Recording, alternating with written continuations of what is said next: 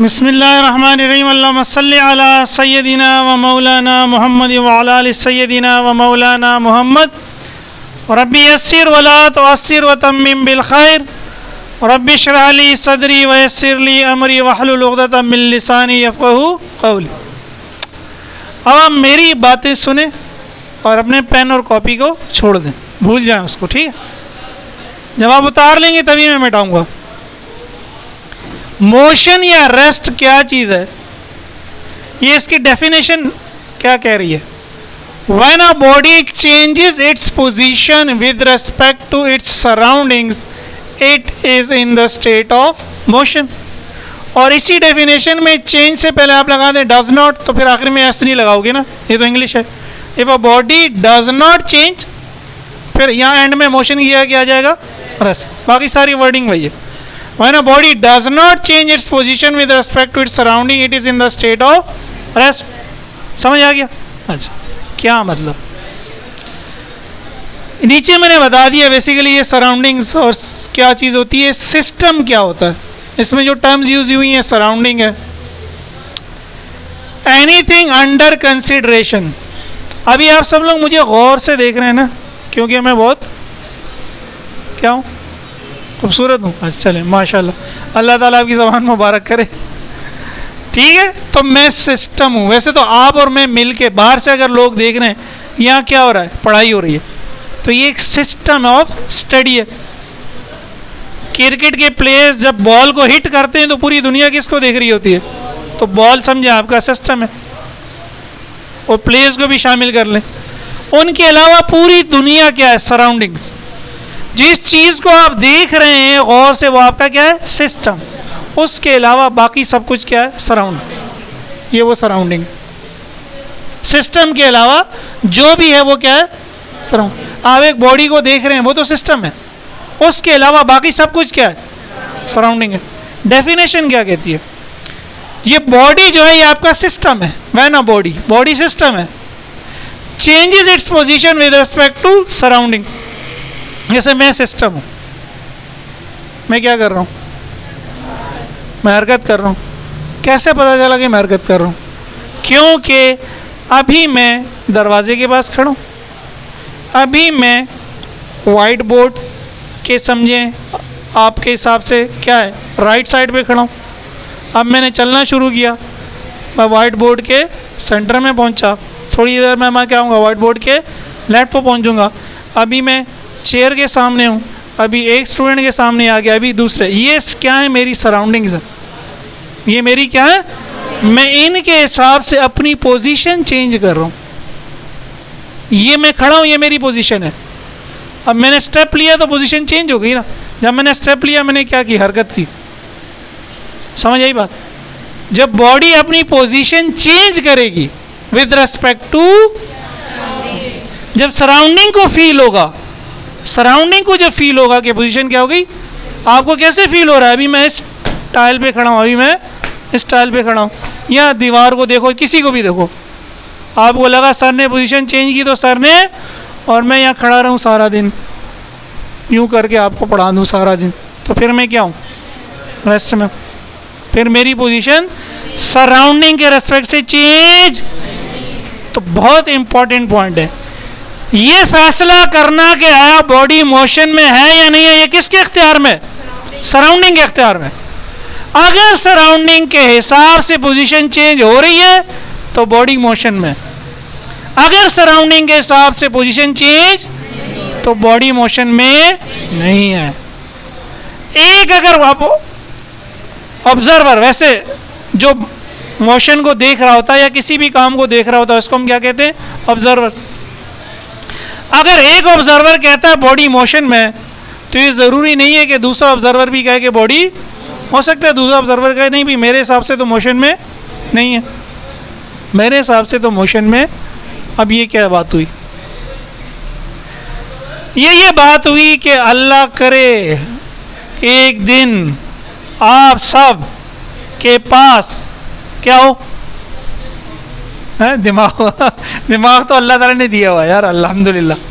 वो हम कम या थोड़ा इस्तेमाल कम या ज़्यादा इस्तेमाल कर रहे हैं, नहीं कर रहे हैं, वो हमारी गलती है। दिमाग तो सबके पास है, उसका इस्तेमाल सीखने की ज़रूरत है हमें। ठीक है? आप सबके पास क्या हो भाई? वन टू फाइव जितना ख्वाब, उतना बंदा कोशिश करता है ना। हाँ भाई, मेरे पास जहाज़ होगा। मैं तो इतनी जान मारूँगा, मैं अपना जहाज़ खरीदूँगा। या मैं पजीरो खरीदूँगा या लैंड क्रूज़र खरीदूँगा। तो फिर हम जैसे गरीब आदमी देखेंगे, लैंड क्रूज़र में गुजर गया। कौन गुजर गया? आपका नाम क्या यार? इरफान। वैसे ही है समझाने के लिए। हमारा स्टूडेंट इरफान, देखो यार, हम वही हैं। जूम। लैंड क्रूज़र गुजर गई। सही है? लेकिन लैंड क्रूज़र में इनके बराबर में खालिद भी बैठा हुआ। अब मैं देख रहा हूँ खालिद और इरफान दोनों डाखाने पे थे। फिर आ गए दार अरकम के सामने। फिर चले गए स्कॉलर्स के पास। फिर चले गए मार्केट के पास। फिर आगे कोने पे पहुँच गए वो कौन सा खान जी रेस्टोरेंट तो पोजीशन चेंज कर रहे हैं ना? तो मुझे लग रहा है मूव हो रहे हैं। लेकिन खालिद इरफान को गौर से देख रहा है। इरफान वहीं का वहीं है। ऐसा है या नहीं है? यार, इरफान आज बहुत अच्छे लग रहे हो यार। तो खालिद को क्या लगेगा कि इरफान मूव कर रहा है? वो तो उसके बराबर में गाड़ी में बैठा तो खालिद कहेगा, भाई, इरफान मूव नहीं कर रहा। ये जिस तरह मैं समझा रहा हूँ ना, अगर ये याद रखोगे, इसलिए फ़िज़िकल क्लास की इम्पोर्टेंस है। तो इन समझ में भी आएगा और समझा भी पाओगे। ये मिसालें मैं इसलिए दे रहा हूँ, इनके नाम भी वैसे रिकॉर्ड हो रहे हैं। यूट्यूब पे लेक्चर पढ़े रहेंगे, जब तक कोर्स चेंज नहीं होता। सही है ना भाई? ये खालिद इरफान को देख रहा है या इरफान खालिद को देख रहे हैं? दो गुरु कह रहे हैं, यार, हम तो हरकत नहीं कर रहे, सर पागल हो गए, सर कह रहे हो भाई, कहाँ जा रहे हो? इतनी तेज़ी से। नहीं भाई, मसला ये नहीं है। मसला क्या है? ऑब्जर्वर चेंज हो गया। मैं बाहर खड़ा हूँ, मेरे हिसाब से पोजीशन चेंज लेकिन जब ये दोनों एक दूसरे को देख रहे हैं तो पोजीशन चेंज नहीं हो रही। तो ऑब्जर्वर फैसला कर रहा है सराउंडिंग फैसला कर रही है कि बॉडी मोशन में है या इसीलिए इसीलिए कंक्लूजन ये निकाला जाता है मोशन इज़ रिलेटिव ब्लू से लिखता हूँ रेड से तो चलो नाम लिखा हमने. मोशन इज़ रिलेटिव रिलेटिव से मुराद यही है. अब उर्दू में इसकी पता नहीं, उर्दू मेरी थोड़ी अच्छी है, लेकिन इतनी अच्छी भी नहीं है. अगर इसके आगे वाली बात लिख दूँ मोशन इज़ नॉट एब्सोलूट देखिए एब्सोलूट से मुराद होगा कि अगर एक बंदा वो बात करे तो सब वही बात करें। लेकिन यहाँ पर ऐसा तो फिर हम कहेंगे ये रिलेटिव है। रिलेटिव टू किसके? ऑब्जर्वर के। या सराउंडिंग के। तो motion is not absolute motion is relative एक आदमी अगर कहेगा मोशन है तो इसका ये मतलब नहीं है कि सारे आदमी कहेंगे कि मोशन है। अब गौर से मेरी बात सुनिएगा। आप थोड़ा और अमीर हो गए। आम हमने खलाई जहाज़ बना लिया। क्या बना लिया? खलाई जहाज़ बना लिया। आपने कहा, चलो यार, खला की सैर करके आते हैं। कहाँ जाते हैं? खला में जाते हैं। आप गए खला में? आप जब खला में गए, ये पकड़ना ज़रा। अब ये आपको ज़मीन नज़र आ रही है ऊपर से। यूँ भी घूम रही है और आगे भी। आप देख रहे हैं यार, ज़मीन तो घूम रही है। लेकिन जब आप ज़मीन पे होते हैं, क्या आपको लगता है कि ज़मीन घूम रही? तो ऊपर से जब ये अमीर आदमी हम गरीब लोगों को देखेगा तो हम सब लोग क्या हैं? घूम रहे हैं इसके हिसाब से। लेकिन क्या हम घूम रहे हैं? क्योंकि हम सब घूम रहे हैं। तो हमारे हिसाब से हम नहीं घूम रहे। लेकिन उस अमीर आदमी के हिसाब से हम घूम रहे। है कि नहीं हमें ये तो पड़ा होगा ना यार।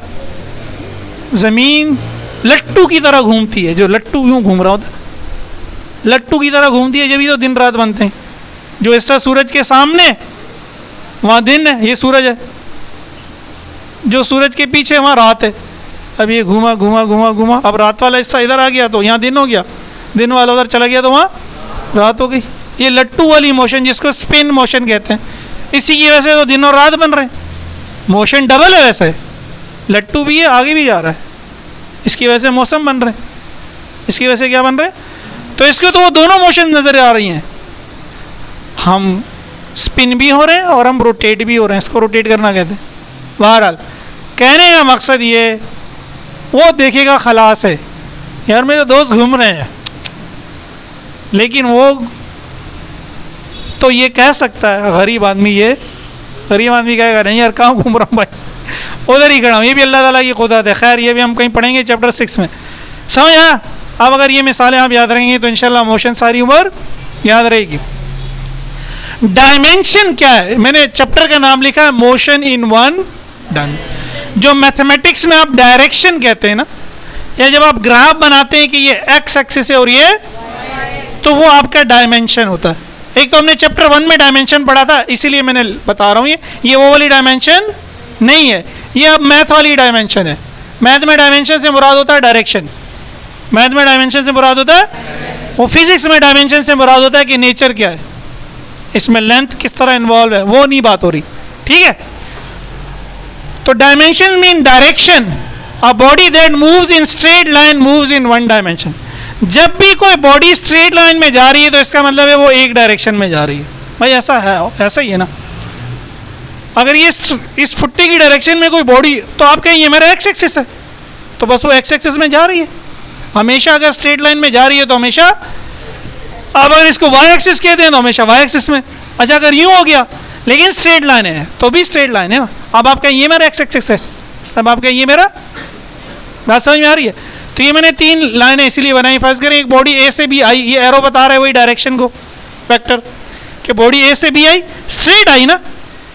यहाँ भी बॉडी ए से बी गई स्ट्रेट आई। मैंने बॉडी को ऊपर से छोड़ा स्ट्रेट नीचे जाती है। स्ट्रेट इसको कहते हैं फ्री फॉल मोशन आप बॉडी छोड़ते हैं, वो नीचे गिरती है, इसको क्या कहते हैं? ये सबसे बेहतरीन है नेचुरल आपको सिर्फ़ करना क्या बॉडी को छोड़ना। ये सबसे बेहतरीन एग्ज़ाम्पल है किसकी? वन डायमेंशन मोशन की। बाकी तो आपको ज़ोर लगाना पड़ेगा ना मूव कराने के लिए।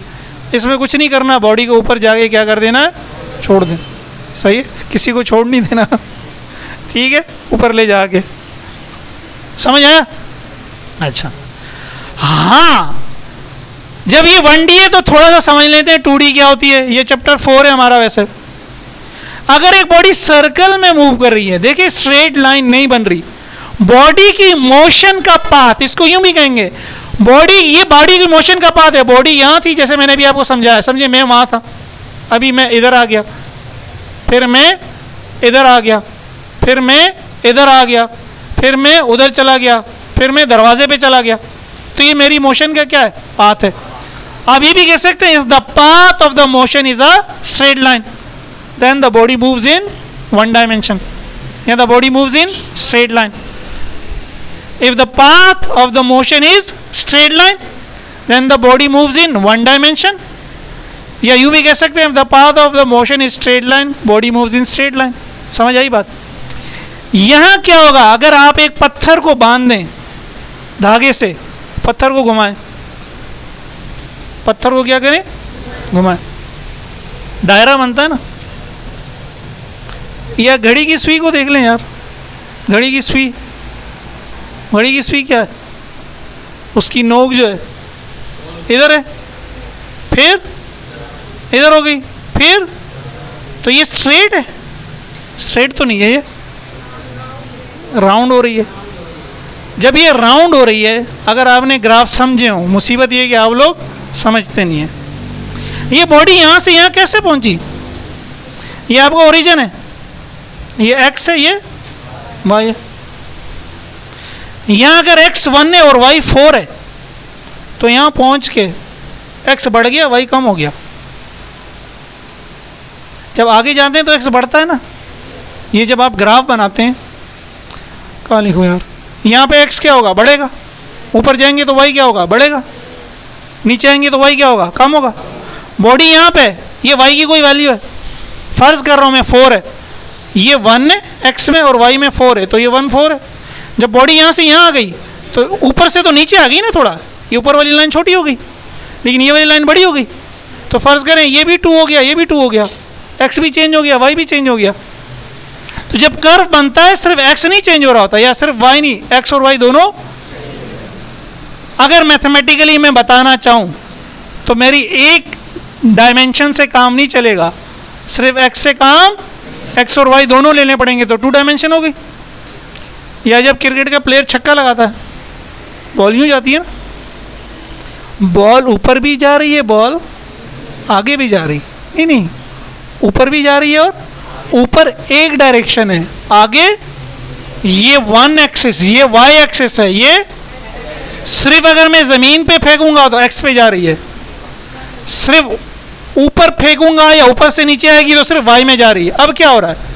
जब छक्का लगा, बॉल यहाँ थी फिर बॉल यहाँ पहुँची।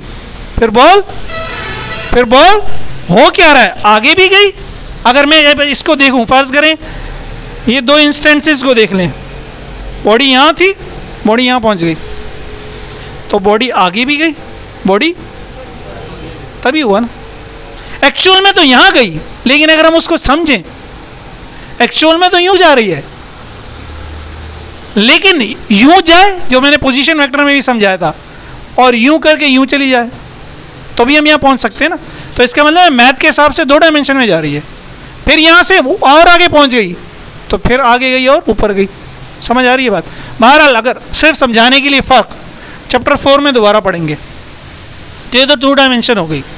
थ्री डायमेंशन में क्या होगा? थ्री डायमेंशन में कौन मूव करेगा? आगे जगह नहीं है, यहाँ लिख देता हूँ। थ्री डी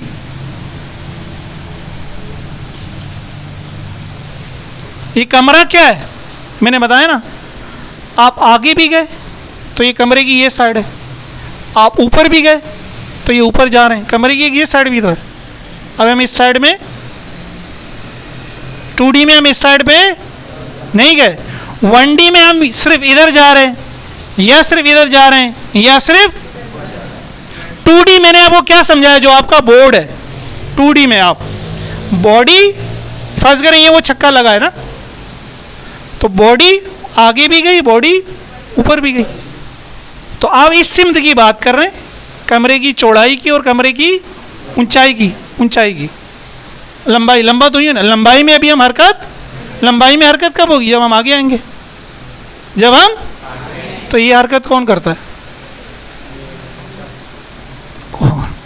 चिड़िया अगर इस कमरे में आ जाए, वो क्या करेगी? वो यूँ भी जाएगी, यूँ भी जाएगी, यूँ भी जाएगी, यूँ भी जाएगी। उसकी मोशन क्या होगी? थ्री वो टू नहीं होगी। ठीक है, बहरहाल, सिर्फ़ फ़र्क समझाने के लिए। चैप्टर के हवाले से तो यहाँ तक कहानी ख़त्म। Straight line one dimension straight line means बस आप देखो, सीधी लकीर में जा रहा है। ठीक है भाई वन डायमेंशन अब वो चाहे सीधी लकीर यूँ बन रही है, चाहे यूँ बन रही है, चाहे यूँ बन रही है, चाहे यूँ बन रही है, कैसे भी बन रही है। लकीर अगर सीधी है तो मोशन क्या है? वन डायमेंशन उतार लिया ये? अब उतार लो, अगर नहीं उतारा था तो।